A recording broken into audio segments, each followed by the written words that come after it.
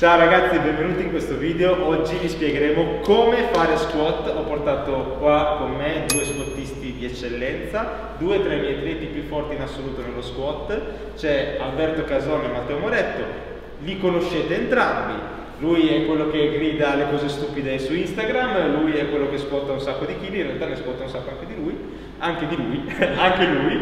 E, ehm, e, quindi oggi voglio usare loro come cavie e ci sarò anche io come terzo, un, un threesome di squat e vi faremo vedere un pochino anche in funzione delle leve, abbiamo tutte e tre leve diverse, come impostare l'alzata. Vuole essere un tutorial veramente completo con tutte quante le fasi dello squat così che possiate andare in palestra e fare un nuovo PR. Partiamo dal setup, come si prende il bilanciere, come si approccia il bilanciere in uno squat. Intanto dobbiamo cercare di essere il più simmetrici possibile, senza impazzire per fare le cose precise al centimetro, però il più simmetrici possibile. Prenderemo un'ampiezza con le mani alla stessa distanza, regolandoci in funzione della distanza, o dagli 81 o dall'inizio della zigrinatura. Quindi prendi il bilanciere, lui ad esempio usa il pollice per valutare la distanza e mettere le mani esattamente alla stessa distanza. Poi ci infiliamo sotto il bilanciere Ora in funzione anche del nostro stile di squat e delle leve decideremo se usare una posizione low bar che è quella che sta facendo lui in questo momento oppure high bar un pochino più alta. Prova a far vedere l'high bar Albi. Ok, questa è la posizione high bar. Nell'high bar poggiamo sopra il trapezio, sarà uno squat più verticale, più quad dominant, vai sotto. Nel low bar invece poggiamo sul deltoide posteriore, sarà un, uno squat un pochino più inclinato e un pochino più dominante di catena cinetica posteriore. 9 persone su 10 sono molto più forti di lobar, quindi in gara tipicamente si usa questo. La biomeccanica dell'esercizio è la medesima, cambia l'inclinazione solo perché cambia la posizione del bilanciere rispetto al piede. Un altro punto molto importante da non sottovalutare che fa parte del setup, del bracing e tutto quanto è di tirarsi il bilanciere sulla schiena, come se lo voleste piegare e rompere in due sopra i vostri trapezi.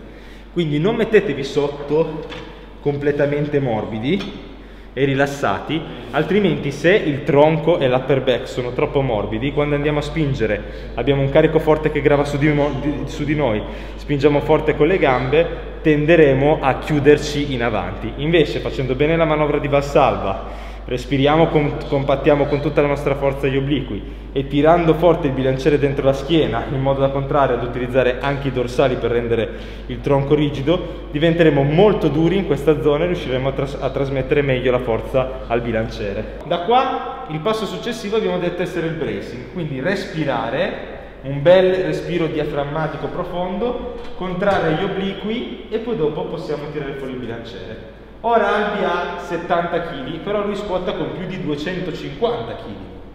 Quindi questa fase è molto importante. Compattare bene il core, sollevare con calma, aspettare che il bilanciere si stabilizzi e come avete visto ha fatto solo tre passi e si è posizionato in maniera equilibrata e stabile. Quando si tratta di walkout è molto importante comprendere una cosa, bisogna dissipare quante meno energie possibile prima di fare lo squat in modo che ne abbiamo il più possibile per il gesto di gara. Dobbiamo fare il gesto di gara o per la serie allenante, non necessariamente solo in gara si fa lo squat ovviamente. Dobbiamo cercare di trovare la nostra posizione che sarà determinata da come ci troviamo bene e dalle nostre leve con due, massimo tre passi, il tutto preservando l'equilibrio. Abbiamo visto un po' velocemente come ha fatto Alberto il suo workout, ora vi faccio vedere l'esempio di una persona più longilinea che quindi avrà verosimilmente bisogno di tenere le gambe più larghe per avere uno squat efficiente.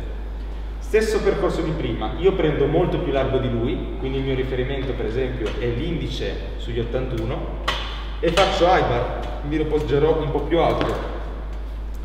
Respiro nel profondo diaframmatico e contraggo il core, stacco, aspettiamo che il bilanciere si stabilizzi, tre passi, uno dritto indietro, Ora ho avuto fretta quindi ho toccato il rack. Il motivo per fare il passo dritto indietro è non beccare il rack. Uno diagonale e poi dopo mi apro. In questo modo con tre passi ho esattamente la posizione corretta che devo avere nello squat. Dobbiamo cercare di avere il workout sempre uguale in modo di essere sempre nella stessa posizione, più efficienti possibili. E da qua possiamo iniziare il nostro squat. Il modo esecutivo nello squat è ampiamente influenzato dalle leve dell'atleta. Ad esempio Matte è un atleta molto brevilineo, ha i femori corti. quindi il suo squat è uno squat che in gergo si dice molto di gamba. A lui ripaga molto una buona verticalità, riesce a sfruttare molto bene i quadricipiti, a rimanere verticale e a mantenere le anche molto sotto il bilanciere.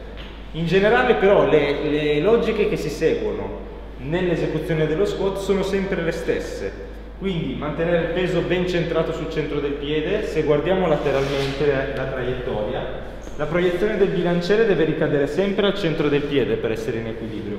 Dobbiamo scendere con controllo, caricando bene le anche e tutte quante le strutture delle nostre gambe, il grande adduttore, il gluteo, il buca, vedete come lui si appoggia bene sui muscoli delle gambe, per poi dopo spingere forte, imprimere forte con la schiena forza contro il bilanciere. In questo modo utilizziamo sia la gamba con la spinta che gli estensori dell'anca per mantenere sempre le anche alla stessa distanza. Come vedete lui scende e risale, ma le anche rimangono sempre alla stessa distanza dal bilanciere. Questo è fondamentale. Bisogna concentrarsi in fase eccentrica, quindi di discesa, sul caricare bene i muscoli per prendere una risposta elastica dalla buca e rimanere ben centrati sul piede. Nella fase concentrica, viceversa, come vi dicevo, dobbiamo spingere forte con le gambe, spingere forte con la schiena contro il bilanciere e non far scappare indietro le ginocchia troppo presto, che è l'errore più importante, più comune nello squat. Ora vediamo l'esempio di Alberto che ha Albi, mi sembra strano chiamarti col nome completo, che anche lui ha delle ottime leve per lo squat, però ha i femori più lunghi rispetto a Matteo, quindi vedrete che posiziona i piedi più larghi, più aperti tra di loro e si inclina molto di più in avanti. Però se lo guardiamo dal lato preserva comunque la linearità tra il bilanciere e il centro del piede e la dinamica è la stessa. Le ginocchia non scappano indietro e pianta bene la schiena contro il bilanciere. Ora come ultimo esempio prendiamo me. Io sono molto longilineo, ho delle leve molto sfavorevoli per lo squat e quindi devo attuare un po' di modifiche nelle, nell'esecuzione, nella dinamica dell'alzata per cercare di renderla il più tollerabile possibile.